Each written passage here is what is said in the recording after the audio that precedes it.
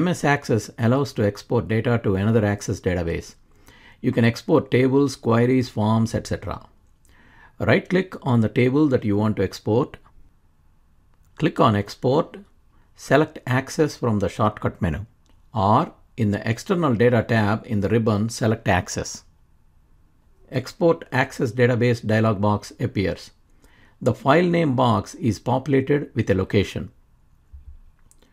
Click on Browse to navigate to the folder and select a database file. Select the database and click on Save. Click on OK. Export dialog box opens. You can change the name of the exported table in the destination database. Select definition only to export just the table structure without the data.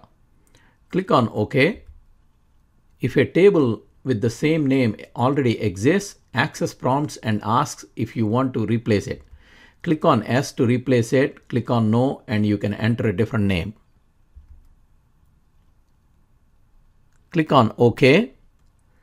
Save Export Steps dialog box appears.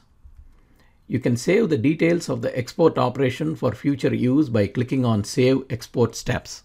Open the destination database and check if the table was exported properly. You can follow the same steps to export other objects like queries, forms, etc. If you like this video, please subscribe to our channel.